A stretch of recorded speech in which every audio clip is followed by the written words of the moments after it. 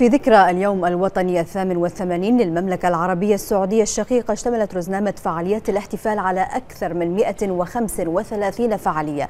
أقيمت في أكثر من 285 مدينة من مدن ومحافظات المملكة. وقد أقيمت الاحتفالات والعرضات الشعبية فيما أضاءت سماء مدينة الرياض ألعاب الليزر مسجلة رقما قياسيا في موسوعة جينيس العالمية كأكبر كمية ألعاب نارية في العالم.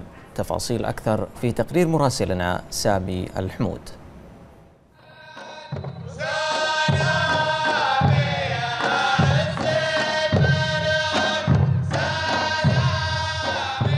تحت شعار للمجد والعلياء احتفلت المملكة العربية السعودية بذكرى اليوم الوطني الثامن والثمانين لتأسيس المملكة برزنامة متنوعة من البرامج والفعاليات تجاوزت 135 فعالية في أكثر من 285 مدينة من مدن ومحافظات المملكة. نفخر نحن كسعوديين بالنماء الاقتصادي والسياسي في المملكة العربية السعودية ونتمنى من الله أن نكون شركاء في هذا الإنجاز وتحقيق نمو اقتصادي وتحقيق رؤية المملكة العربية السعودية 2030 إن شاء الله بإذن الله.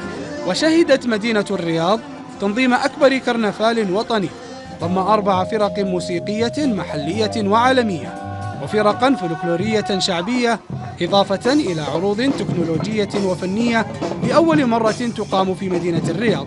الحمد لله المملكة العربيه السعودية حققت إنجازات كبيرة في على المستوى الاقتصادي على على المستوى التعليمي. إحنا ما كنا ننظر لها بشكل كبير. إحنا في المستوى التعليمي اليوم إحنا قفزنا قفزات جدا عالية في الثقافة في الترفيه الحمد لله الأمن في المملكة العربيه السعودية نشعر بأمان كبير.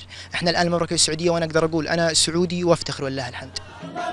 كما اشتملت رزنامة اليوم الوطني على أوبريتات ومسيرات وطنية من بينها ملك وشعب ووطن عز وفخر وسيرة مجد شاركت في تنظيمها كافة المؤسسات والجهات الحكومية.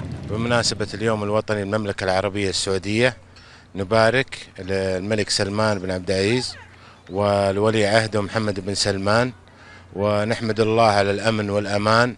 والله يديمه إن شاء الله. وتميزت البرامج الاحتفالية بتوظيف تقنيات الضوء والليزر والخرائط ثلاثية الأبعاد التي تجسد الماضي بالحاضر. تزينت أبراج وشوارع الرياض ابتهاجا بهذه المناسبة الوطنية والتي تعكس واقع الفخر والاعتزاز لتوحيد هذه البلاد. على يد مؤسسها الملك عبد العزيز بن عبد الرحمن آل سعود طيب الله ثراه. سامي الحمود لتلفزيون البحرين الرياض.